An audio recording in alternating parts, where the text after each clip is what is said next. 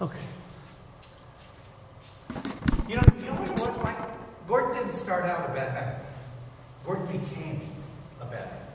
And that, I think that's the problem.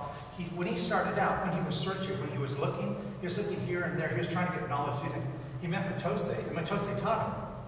But somewhere in that transition, he, he moved away from being a searcher, an explorer, an investigator, and a creator of things, and became the opposite. Into spell, into holding people through uh, the forms, you know, doing bad things in that way. Before he wasn't that way, but he became that way, which was which was a shame.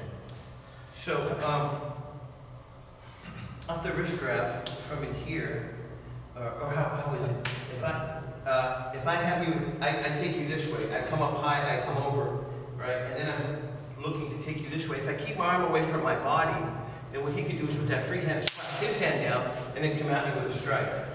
So when we're doing this technique from here, it's best to always try to keep it to your chest or with the foot switched. So then you're using your body behind it as opposed to doing this. This is this is kind of dangerous. You'll see a lot of artists, they'll set a kick and then they'll, they'll come over this way. Oh, they'll come over this way. You can do that, that's fine.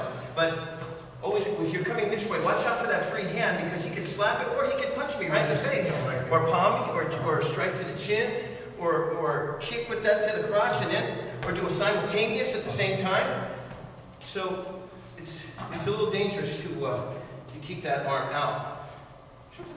Sure, the way, because I, what I see when they, a lot of people do this, they try to do it really low, right? You know, they try to do it Well, really low. if, if really you, low. if, if you, if you come low, Uh-huh.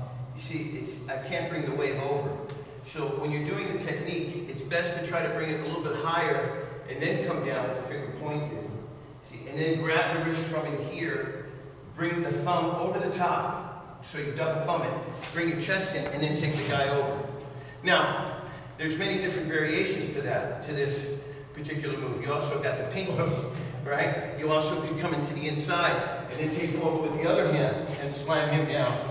There's many different variations to that technique, but it has to be done fast because a good jujitsu man is going to really crank it fast. You, you only have a, a quarter of a second to get out of that. If you don't get out of it, you're going to lose your wrist.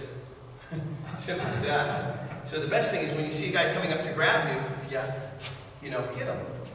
Or if he's coming up to grab you, hit hit. Come to the outside. If I come this way, well, I'm setting myself up for that hand there. See?